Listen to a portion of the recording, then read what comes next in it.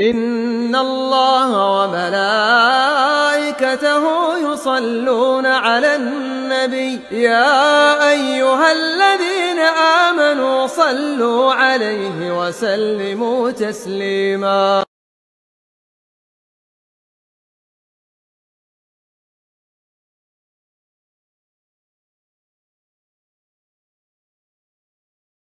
Ayuhal ikhwah para jamaah Masjid Agung Al-Ukhwah Bandung yang Allah muliakan.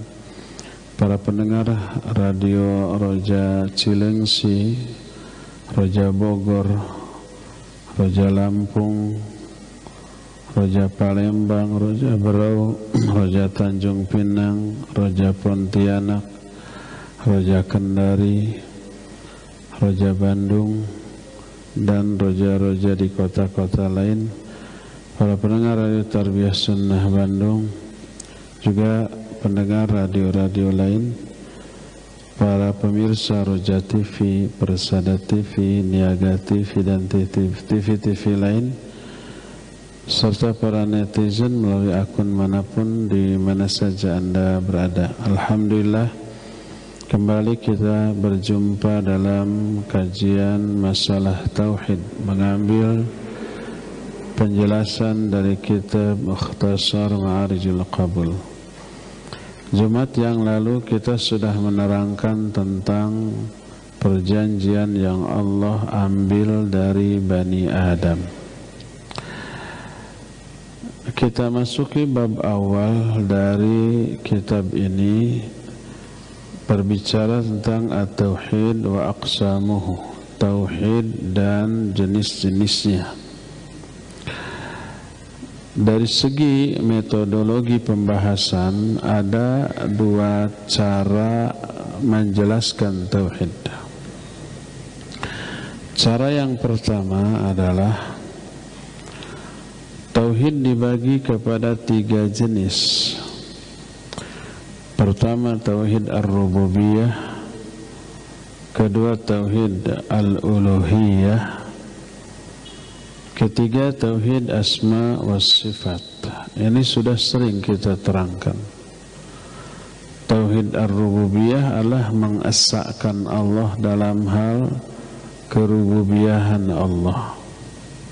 Tauhid artinya mengesahkan Contohnya meyakini Allah satu-satunya Rabb Allah satu-satunya pencipta Allah satu-satunya pengatur alam jagat raya ini Allah satu-satunya yang mematikan, yang menghidupkan yang memberi madarat, yang memberi maslahat dan yang sejenisnya.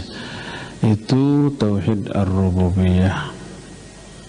Tidak boleh ada keyakinan ada pencipta lain selain Allah ada yang mengatur alam selain Allah dan yang seterusnya tidak boleh. Berarti tidak mentauhidkan Allah dalam hal rububiyah. Ini yang pertama. Yang kedua tauhid al-uluhiyah artinya mengesahkan Allah dalam hal penyembahan. Dalam hal peribadatan. Artinya hanya beribadah kepada Allah apa pun bentuk dari ibadah itu salat, saum termasuk berdoa termasuk menyembelih atau berkurban itu semuanya ibadah yang hanya boleh ditujukan kepada Allah. Itu tauhid al-uluhiyah. Ketiga, tauhid asma wa sifat maknanya menetapkan nama-nama dan sifat-sifat bagi Allah dengan nama-nama dan sifat-sifat yang telah Allah tetapkan sebagai nama dan sifat bagi dirinya atau yang ditetapkan oleh Rasul sallallahu alaihi wasallam. Tanpa mentakif mentamthil dan menta'til.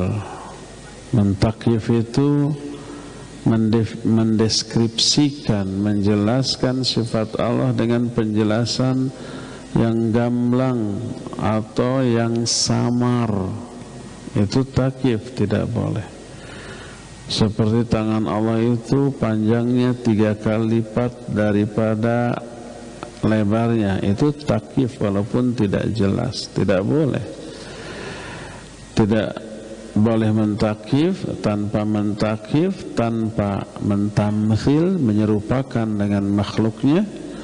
Laisa kamitslihi syai'un. Allah tidak ada yang menyerupainya